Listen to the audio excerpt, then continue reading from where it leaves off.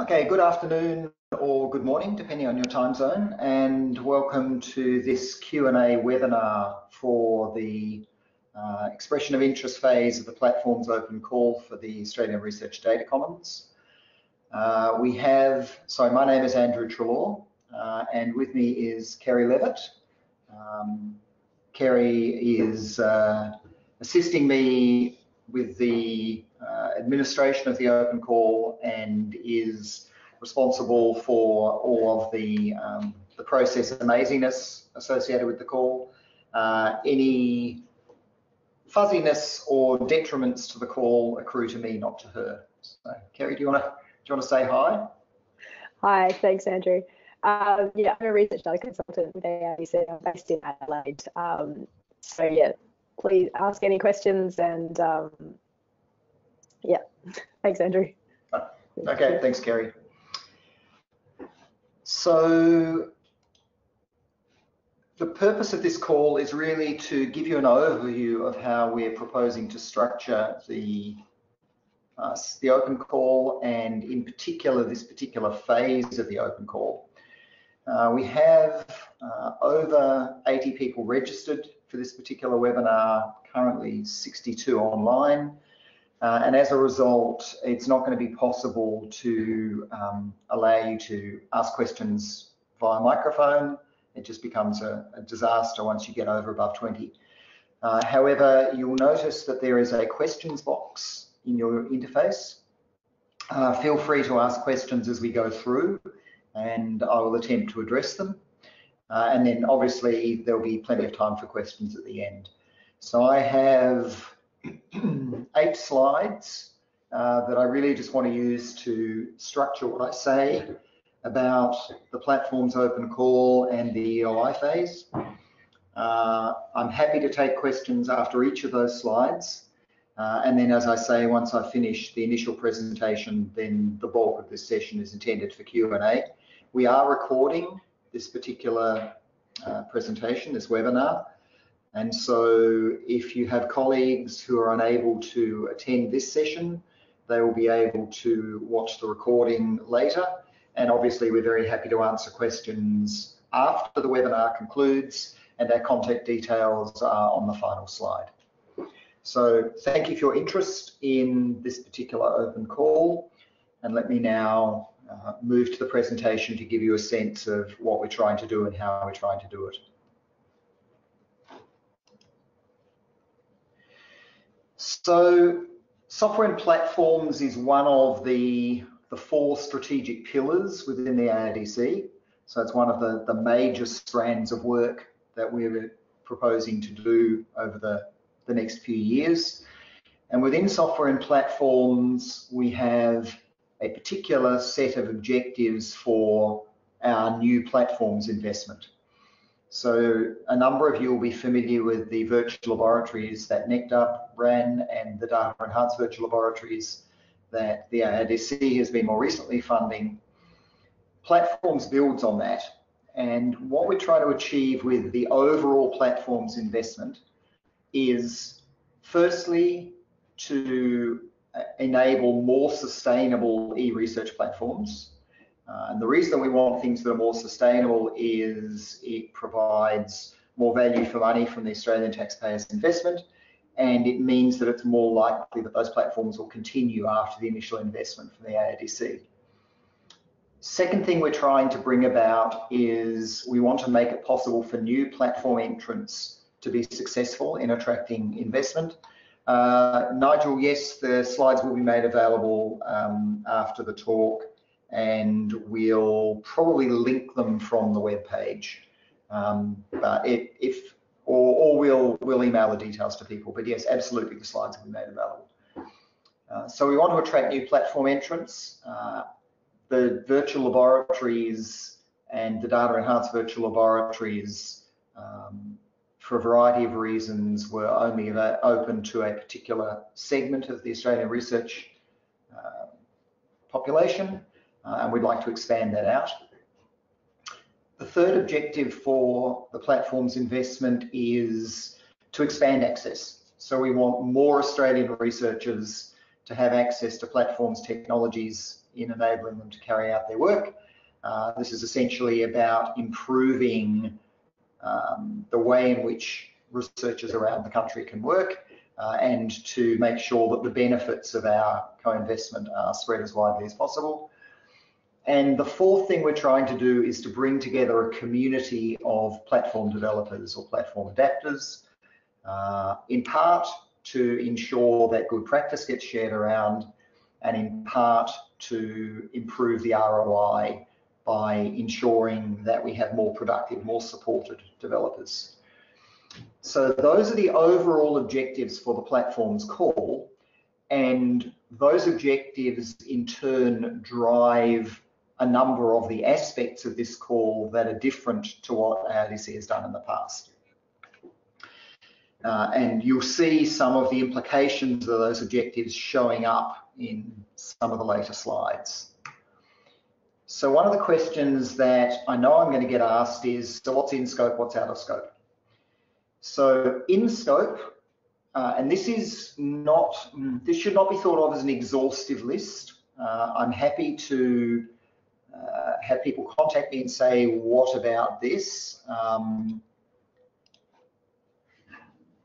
in scope are, first of all, adoption of an existing platform um, and implementation by a new or expanded community in Australia. So taking something that's already in use in one place and uh, implementing it in Australia.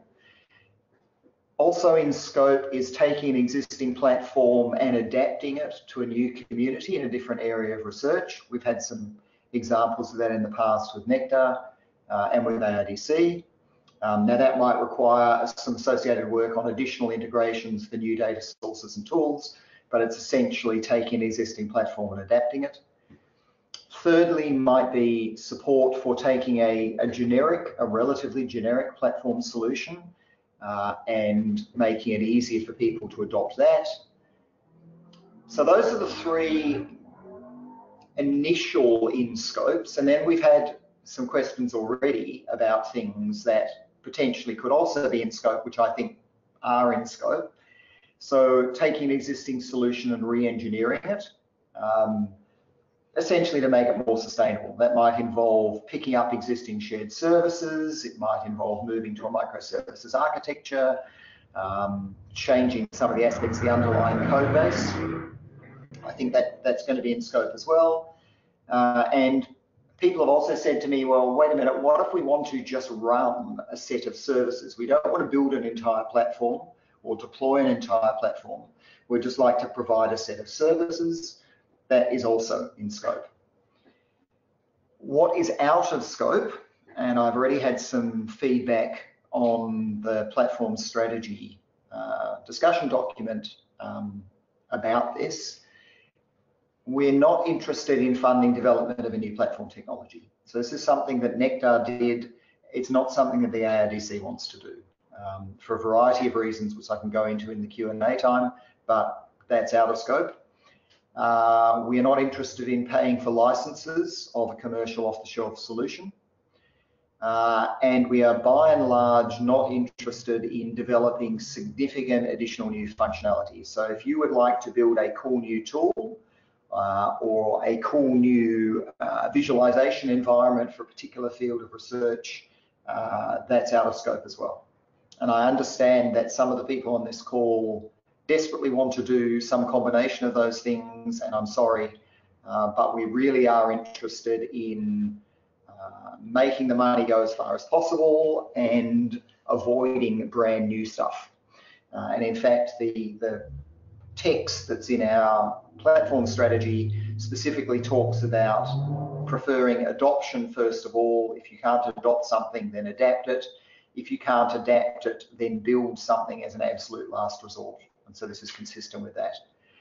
Um, Peter Walsh has asked whether, um, with respect to scope, whether this is restricted just to researchers or whether it can include, include government, industry and the general community. If you would like to develop something that would be of benefit to government, industry or general community uh, and it looks like it's a good and fundable thing, then that's fine. We're not saying this has to be researcher only. Uh, so that's certainly a possibility.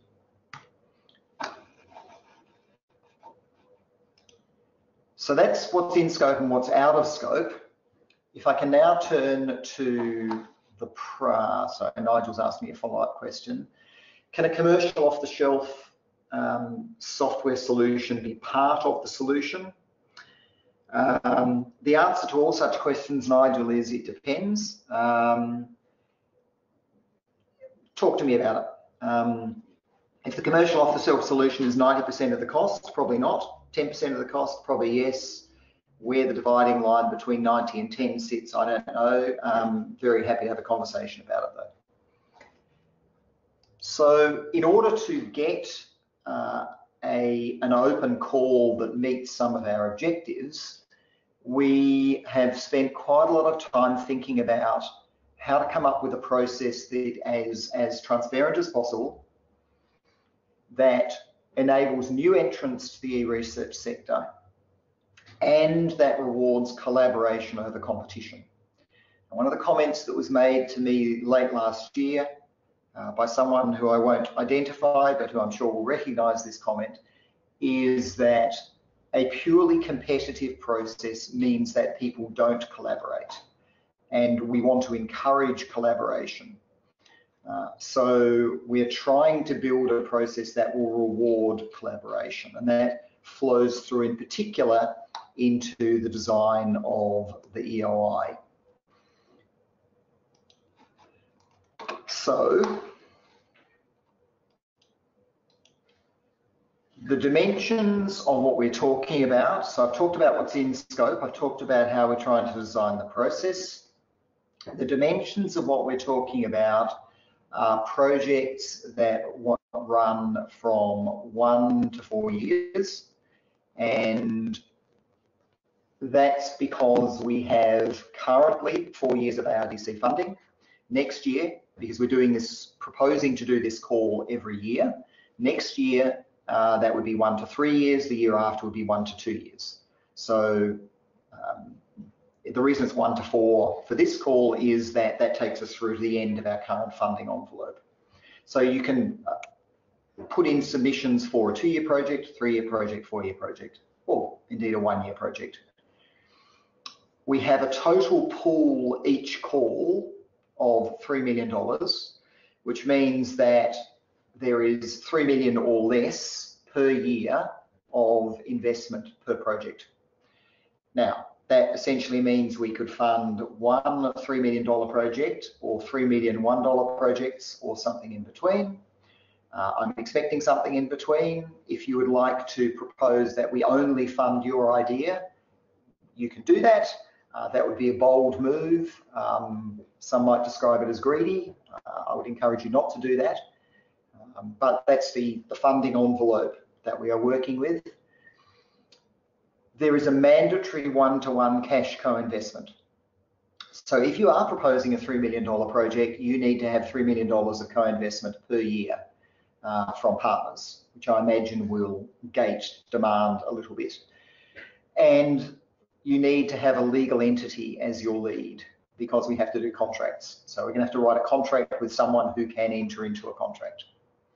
Uh, I note that there's a, a, number of questions coming in that I would actually, I'll take them at the end of the talk rather than try and, and do them now. So those are the, the kind of constraints that we're working within. And as I said, we've tried to design a process that is as transparent as possible and supports collaboration as much as possible. And so the best way to think about the construction of this call is that we have three phases. The first phase is what we call the expression of interest phase. That's the focus of this webinar. And the point of that is that it is designed to be collaborative and it's designed to be lightweight. So this is for anyone to say, I think I, no, well, not even I think, it would be good if there was a platform that did this or a service that did that or a community whose needs are this that need to be met. So it's quite exploratory and it's designed to be low effort to put up an idea. Um, there is a template and we'll provide links to the template uh, as part of the, the documentation immediately after this webinar, but it's think of it as a two-page template, essentially. So quite lightweight, quite high level. The point of the EOI phase, which runs for the next month or so, is to enable us to see what ideas people are proposing and bring groups together, and to enable other people to see what ideas people are proposing and contact them. So this is what I call I'm calling the coordination phase. So that might be proposer initiated. Someone might say, oh, that group's proposed this thing, which is very similar to what we want to do. Let's talk to them about putting in a joint proposal. It might be ARDC initiated. So one of the things we'll be doing is looking at those expressions of interests and trying to broker, facilitate discussions with people. Or it might even be initiated by existing groupings. So for instance, the Australian Characterisation Informatics Committee is an existing coordination mechanism for activities in that space. They might, for instance, decide to put in a joint proposal using their existing coordination mechanisms. In a sense, the ARDC kind of doesn't care. What we care about is that we get the strongest possible proposals coming into the final phase uh, and that these are proposals that have a greater degree of buy-in. So lightweight expression of interest, coordination phase that is going to be a little bit more fluid and in fact quite different to a conventional RFP process. And then we move into the formal request for proposal phase, uh, which is inevitably going to be more competitive and where we're going to ask for much more detailed documentation. Now, I, I, toyed with whether I wanted to write the word competitive or not, but the reality I suspect is that there will be more proposals coming in than we have funds to support. And so inevitably, we're going to have to uh, make decisions about what we're able to fund, what we're not able to fund. Um, and that's another one of the reasons why we would like there to be a smaller number of really high quality proposals at this phase rather than uh, lots of smaller ones. The kinds of ways in which we might see coordination opportunities arising. Uh, and this is not an exhaustive list, by the way. This is just uh, an existing list um, as a starting point. So we might say, look, these three proposals are all from the same discipline. We'd encourage you to talk together. Or proposals that are using similar classes of data generating or data collecting instruments, or that are using similar or indeed identical software tools. Uh, by the way, the uh, instruments and software tools, we saw examples of both of those during the data and services discovery activities, um, groups that were essentially proposing to do very similar things that we're able to bring together. Um, we could, I can imagine groups proposing use of similar platform technologies. Again, we'd encourage them to come together uh, or groups that are proposing similar opportunities for use of shared services. This is not an exhaustive list, let me emphasize. These are just the kinds of things that we're going to be looking for uh, collaboration opportunities around. The timings for all of this are that the EOI opens today. The facilitation will start some period thereafter. Obviously, it's difficult to facilitate one expression of interest. Uh, once we have more than one, we'll start looking for opportunities to do facilitation. And that will run through until the 20th of September. So the EOI will close in about a month's time. A little bit after that, we will release the RFP template and a final set of weighted selection criteria. So there is a, uh, a platforms open call overview document on the ARDC website which has an initial set of selection criteria to give you a sense of the kinds of things we care about. Uh, before people are asked to submit the RFP, they will have a much more detailed set of selection criteria uh, with weightings, so you can see exactly what we care about. Uh, the facilitation period will end uh, a week after the EOI closes, so that if there are late EOI submissions, we have an opportunity to do some facilitation. Uh, and then the RFP itself formally opens on the 7th of October and closes on the 1st of November. Now, the reason for those dates is that we want to be able to announce to people well before the end of the year, ideally by late November, whether they've been successful or not. And in an ideal world, and assuming that university solicitors can resist the temptation to add value, we would hope to have contracts at least sent out before the end of the year. So the driver for some of these timings is that we would like people to have a degree of um, surety about whether or not they've been successful in a, a funding proposal um, before the end of the current DeVL extension funding. So that's the that's the driver for the timings. Uh, the contact details for questions uh, after this webinar finishes are there for, for me and for Kerry. Uh, and what I might now do is work my way through the questions that I haven't yet got to, um, and uh, we can, I'll just essentially happily answer questions until they stop coming in. Um, so one of the questions was, uh, used to fund a set of virtual laboratory projects. Indeed, we continue to fund a set of data enhanced virtual laboratory projects. With the platform's open call, will you continue to support the existing VLs? Uh, the answer is not in their current form. So the virtual laboratories had a round of DeVL continuity funding until the middle of this year, roughly. Uh, they have a, a, round of DeVL extension funding through to the end of this year. For the existing VLs under that funding vehicle, that co-investment vehicle, um, there will be no ongoing, necessary ongoing funding beyond that question that I've been asked already is, okay, so you're doing this new platforms open call. What does that mean for the existing VLs? Uh, and the answer is that they are neither advantaged nor disadvantaged with respect to the call. Um, they are welcome to put in proposals um, and they will get no favoured treatment relative to a new proposal from uh, a group we've never heard of. So I, I, don't think I can make it any clearer than that. Uh, we've got a question about whether the questions from others can be viewed.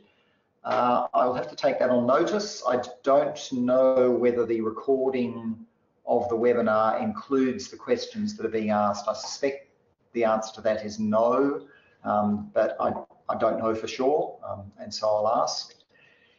Uh, there's a question about what does cash co-investment mean? So what we're trying to get at there is that if the project, let's assume someone puts forward a proposal for a $1 million project. So that means that the total cost of the project is going to be a million dollars. ARDC will provide half of that investment. So the other half of that investment will need to come from elsewhere. Um, it doesn't mean that cash has to flow to the ARDC. It simply means that if, for instance, the bulk of your project cost is salaries, which is often the case for these sorts of things, then the ARDC will fund half of the salaries and the other half of the salaries will have to be funded elsewhere.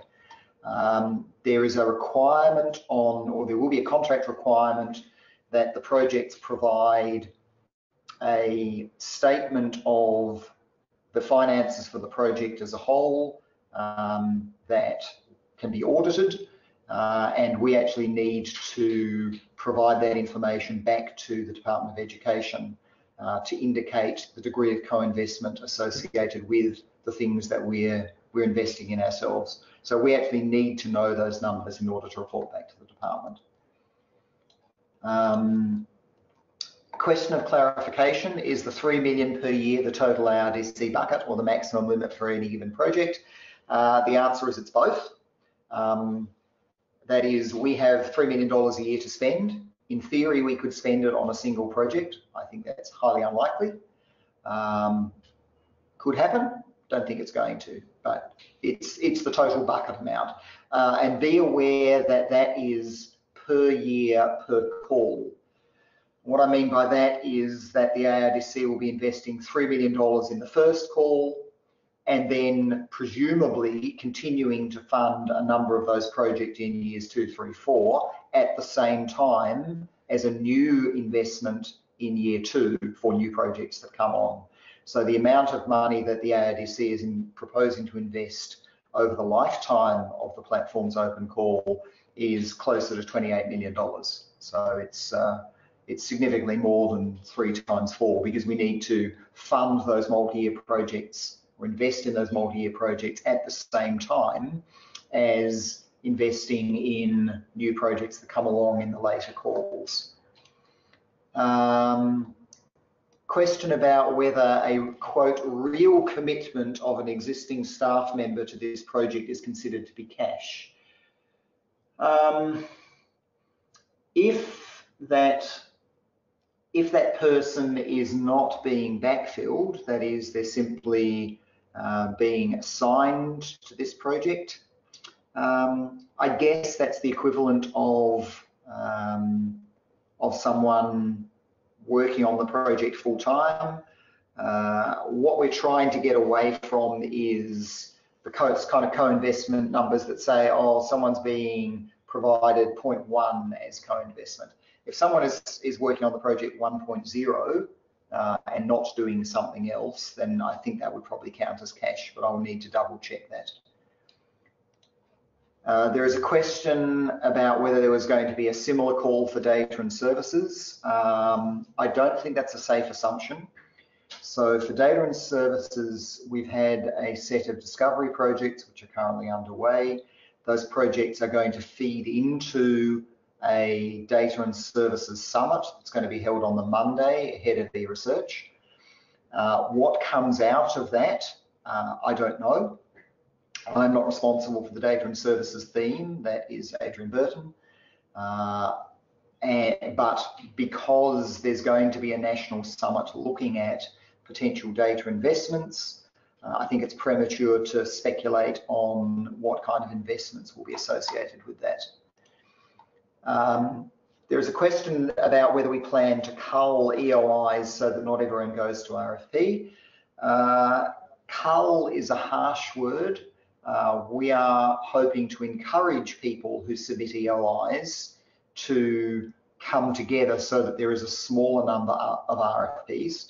But if we get the same number of proposals as we got expressions of interest, it's going to make our selection task more difficult, but that's okay. Um, we can we can deal with that. Um, was something that triggered for me. Um, no, it'll come back to me. Um,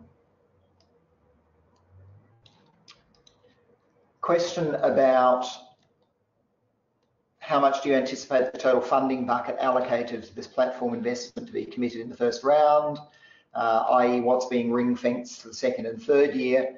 Um, it's an excellent question. Uh, as I, I think I indicated in an earlier answer, we are proposing to do this every year for the next three years uh, and we're proposing to allocate the same amount of money each year for new investments. So uh, assuming there are no changes to the internal budget allocation within the ARDC, and there may be, but at the moment that's not anticipated, assuming there are no changes, I would anticipate a similar size call for new projects in 2020. So you're perfectly within your rights to submit an EOI this year and decide, look, we're not ready to submit a proposal. That's fine. You won't be disadvantaged. You'll have exactly the same opportunity to submit a proposal next year. Uh, uh, similar question is the 3 million for this call or spread across the 2020 and 2021 calls. Again, there's going to be, assume there's going to be 3 million per year for new proposals uh, in addition to funding the existing proposals that are multi-year.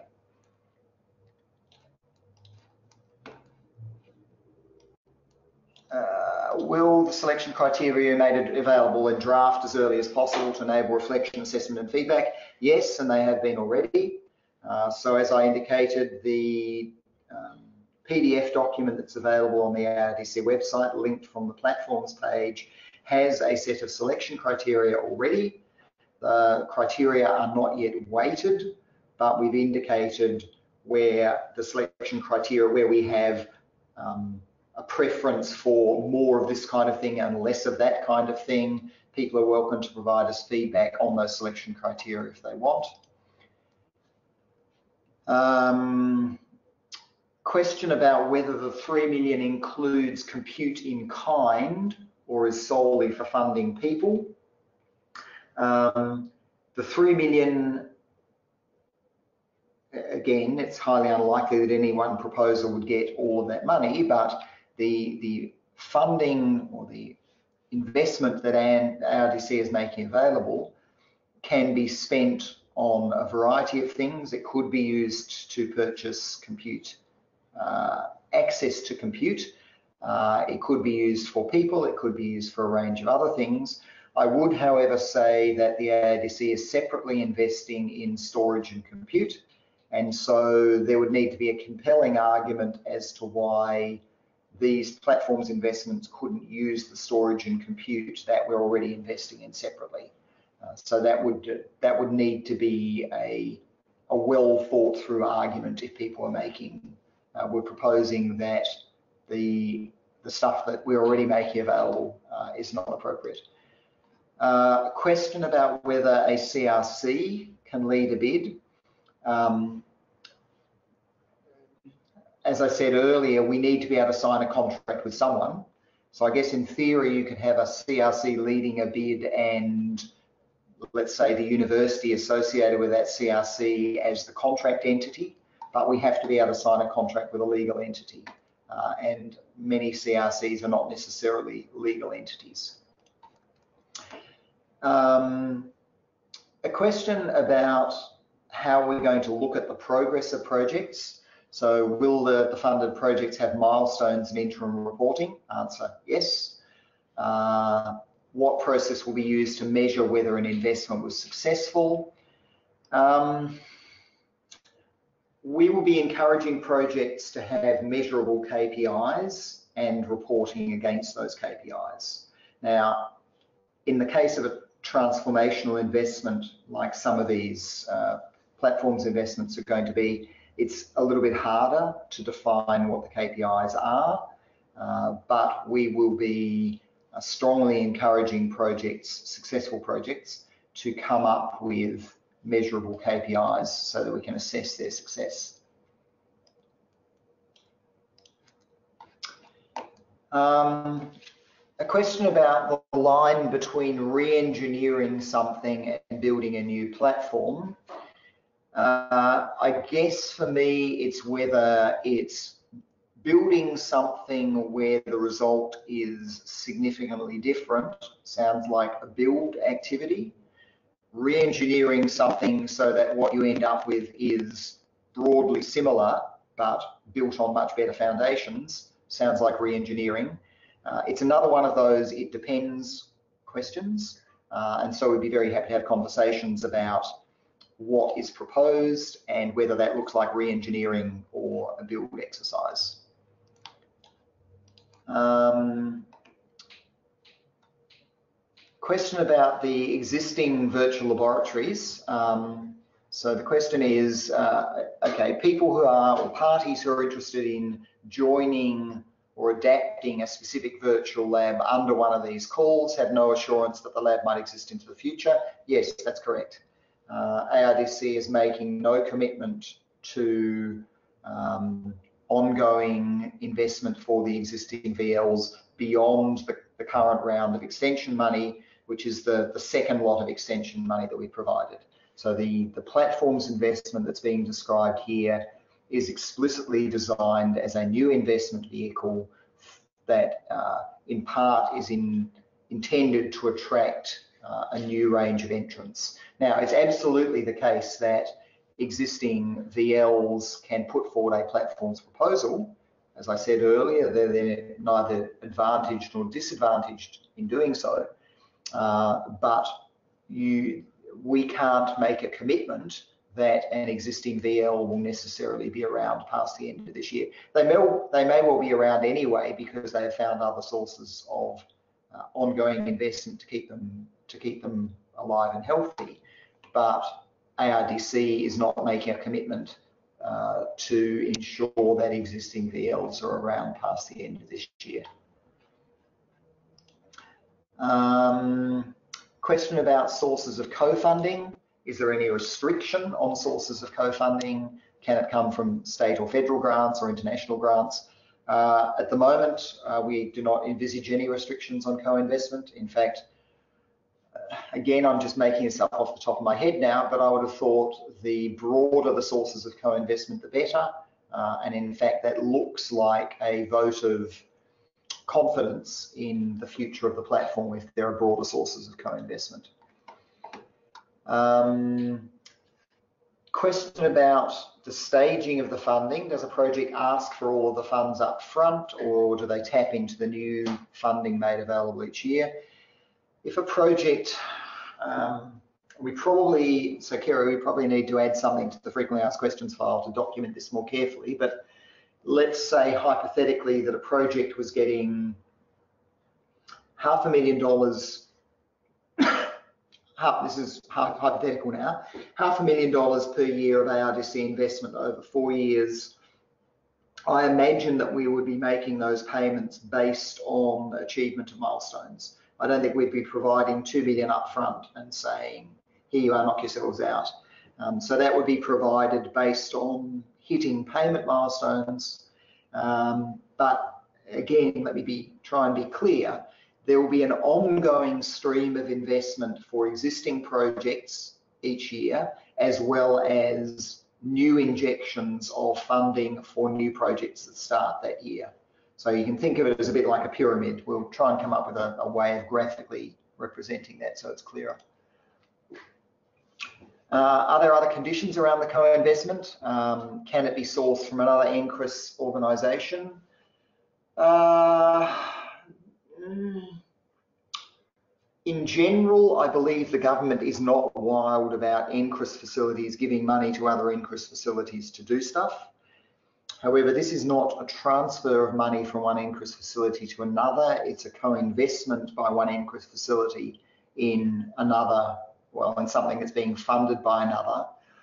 My suspicion is that that particular use case is okay, but I would like to check that with my CEO uh, before ruling on that one. Absolutely. Uh, Kerry, if you could just make a note of that, please. Uh, what do we expect will happen to the platforms after this four-year funding period? What will platform longevity look like? One of the things, one of the criteria that we're going to be using as a selection criterion is uh, your sustainability answer. Uh, we're going to be looking quite hard at how the proposals describe their sustainability model. And if the sustainability model is ARDC funds them forever, they will get ranked lower than something that has a more um, distributed sustainability model, let me put it like that. Uh, another question about co-investments from international partners. Yes, that's fine, as I think I answered earlier. Um, question about collaboration. Uh, and it's actually a, a good question, and I'll, I'll, read it out in full. If we're collaborating across various organisations in developing a data platform, we'll need to spend some time in setting up rules, standards, protocols for data management. This is expected to take time and effort. Would this be included as part of a funded project? Answer, absolutely. Um, getting agreement about how to do things across multiple communities or indeed a distributed community is absolutely part of the work required to deliver a successful platform. And so, yes, we would uh, absolutely see that as fundable activity and in fact almost necessary activity, if I can put on uh, in those terms. Question about uh, whether there's a limit on the number of EOIs that we can put in. Given the person who's asking this question, I'm reluctant to challenge their creativity, um, but uh, the answer is no. Uh, so people can put in multiple EOIs that was the, the thing that triggered the question earlier that I can come back to. There is a requirement in the process we're running that you can only submit an RFP if you've submitted an EOI. That is, you cannot choose to keep your fantastic idea close to your chest until the last minute and then say, here's an RFP surprise. uh, you have to have submitted an EOI to enable people to see it and collaborate around it before submitting an RFP. Um, again, we're going to have to document this in the FAQ so that it's as crystal clear as I can be. Uh, is it the case that this 2019 funding call has $12 million of funding over four years? Yes. And there will be additional funding for the 2020 call and additional funding for the 2021 call beyond that. Um, the scrolling interface in GoToWebinar is suboptimal. Um, uh, yes, I've already done that. Um, are scoping activities in scope for these calls? i.e., um, can you request resources to understand what platforms are best to adopt, adapt? That is a great question. Thank you to the person who asked that. Uh, one of the things that the ARDC is planning to do between this call and the call in 2020 is a deliberate process of community development and facilitation to make underrepresented communities available, uh, sorry, aware of the platforms technologies that are available to them.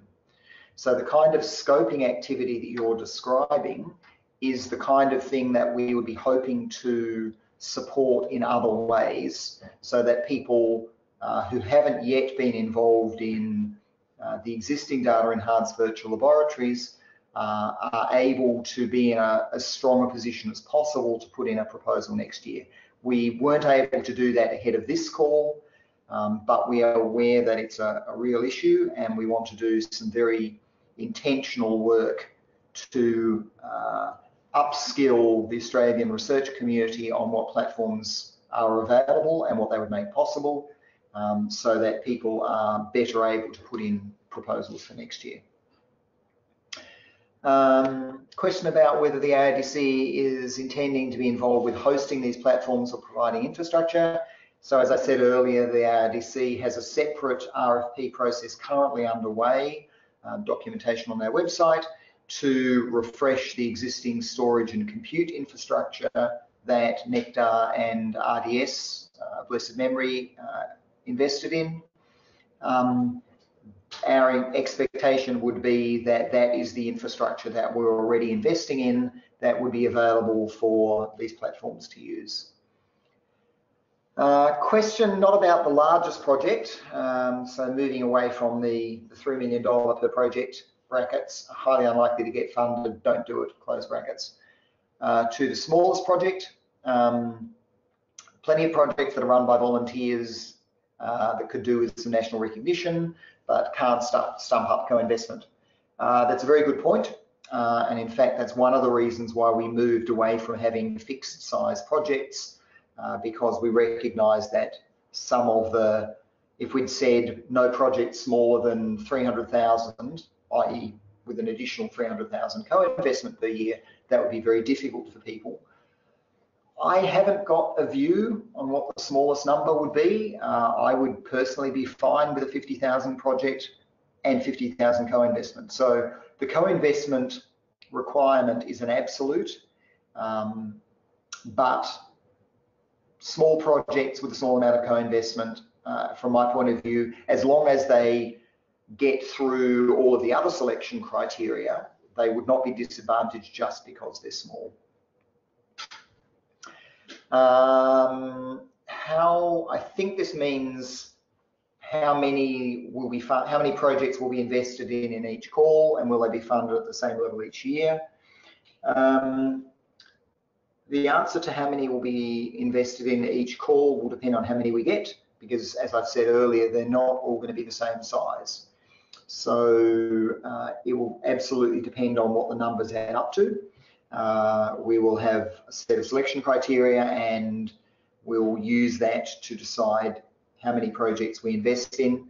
The question about whether the amount invested in is the same each year is an interesting one. There's no reason why a project couldn't request more money in one year and less in following years. I'd be surprised if any project did that and it would make doing the forecasting a little bit messier for us. But there's no reason why that's not possible. Uh, we'd just have to see whether it made sense in terms of the project. Um, okay, someone who who uh, so, someone uh, asking a repeat question where I didn't I wasn't clear enough the last time. Um, does the call support scoping exercises if the organisation doesn't clearly know what might be the best fit? In other words, does this call enable people to say, I'd like to spend a year working out what I want? Uh, answer, probably. Um, yeah, look, probably. Um, put it up as an EOI and let's let's see what it looks like as an expression of interest. Um, I, I, think we'd be cautious about investing in too many of those, but I'm not going to rule it out. Um, so put it up as an EOI. It's a very lightweight thing, and let's have a look at it and see. Uh, I'm not I'm not saying no, and I'm not saying yes. Um, question about the storage and compute investments that I've pointed to a couple of times already. I actually haven't memorized the timeframes for storage and compute investment. Their process kicked off a little bit ahead of ours. Um, I believe that it's proposing to resolve around roughly the same time. So if I would imagine that the outcomes of the storage and compute investment decisions will be made known before the end of the year, which is roughly when these will be announced. Uh, I guess the question is more around can I depend on those new things being in place? I think you can depend on refresh storage and compute being in place. That's that's an easy uh, answer to give. Uh, how the exact timeframes align, I'm sorry, I don't know. Uh, question about data-focused activities, um, i.e. an activity to bring together new data that could then be accessed via a platform. I think I think my response to that, this is going to sound trivial and I don't mean it to be, but I think the focus of the platform's investment is on the platforms and the focus of the data and services investment is on data. Uh, ideally, it'd be nice if those line up, um, but and, and there may be potential to do a bit of data harmonization work as part of the platform's investment. But I think the focus for the platform's investment has to be on the platform. There is there's another whole strategic theme around data, and uh, I think it'd be better for the data focused stuff to be funded there. Uh, question about uh, asking whether I can talk a bit more about the planned ARDC investment in storage and compute. Uh, I'd really rather not. Um, first of all, it's not my area. Uh, Ian Duncan and Paul Coddington uh, leading that. Secondly, there's a lot of information on the ARDC website. Uh, if you go into the ARDC website and search for storage and compute, you'll find more information than you know what to do with on that. Um, so yeah, I'd rather not talk about it for both of those reasons. Uh, question about why there's no slide on the current draft selection criteria because I wanted to keep the slides short to allow maximum time for discussion and because the information is available on the website. Uh, again, sorry, parenthetical comment, there is more information about all of this stuff on the website. So I'd encourage you to, to look at that and we'll be progressively making more available over time question about how multiple one-year applications versus one single year application fare. I'm not sure I understand the question. I think they're getting at how would we rank a pro, uh, an investment, sorry, three single year investments from one organisation versus one three year investment. Depends on what they're proposing Andrew. to do. Andrew, that yep. question has been clarified. So it actually should read, it has been clarified about two questions down. It should read, how would one, multiple one-year applications versus one single multi-year? Single, okay, so that was the interpretation As, I had. Thank single you. Single multi-year, yeah. Uh, it would depend. Uh, it would absolutely depend on how those individual single-year projects fared against the selection criteria. Um, and a related question is, uh, what's the impact of scope changes that will affect future years or yearly submissions that build on the past year's proposal but risk the certainty of future funding. Four years is a long time. uh, if an organisation wanted to propose a four-year project, I would expect that the scope of that project would change over time, uh, simply because you would learn more by doing it. Uh, so I would I would not I would not be constrained in submitting a multi-year project if you're worried about us saying no. You said in year one you were going to do this. We're going to make you do it. Uh, that would be stupid. Um, so we'd certainly uh, encourage people to, if you've got something that makes sense as a multi-year project, submit it as a multi-year project, and if the scope needs to change, we can have a conversation about that. Um, a question uh, about whether we have pointers to successful business models that don't involve ongoing grant funding. Um, there's an entire OECD report uh, that I helped write on uh, sustainable models for data repositories, it's not for platforms. Um, but I can I can certainly refer to that, and we might provide some pointers on our website to documentation. Uh, yeah, there's there's an entire an entire one-hour talk that I could give on sustainability for these kinds of investments. Um, the, the question about whether the ARDC wanted to invest in uh, ongoing, forever sustaining of platforms investments versus investing in new stuff uh, was something that was put to the ARDC board. And the board said that they were primarily interested in funding new activity with a small amount of ongoing funding for things once they've been developed, commissioned, put in place. And by small, they meant something like 10 or 20% of the operating costs. So it's not zero, um, but it's certainly not the full cost. Uh, yes, there is in fact a diagram that shows the pyramid of funding to make it clearer. I think it's possibly even in one of the um, overview documents that we have available. If it's not, I'll make sure that it is because I do have that pyramid already. Uh, have we got a definition for what's meant by a platform? Um, I think the platforms, certainly the platform and software strategy overview has a definition, uh, and we can make sure that that's more highlighted on the ARDC website. Uh, yes, a VL is absolutely a platform. Now, I accept that platform as a word is overloaded. Um, but yes, a VL is a, an e-research platform. So if, if you want to think of it as a VL, then that's fine. But there are e-research platforms that possibly are not VLs. Uh, question about the feedback on the uh, platform strategy to date. Uh, I think I've had feedback from four or five people. Uh, all of them are slightly distressingly male, um, but there we go. Uh, and one or two groups. Um, as I think I've indicated to all of those people who've provided feedback, one of my jobs uh, that I'll get to real soon now is putting up a web page with the feedback and our responses to the feedback.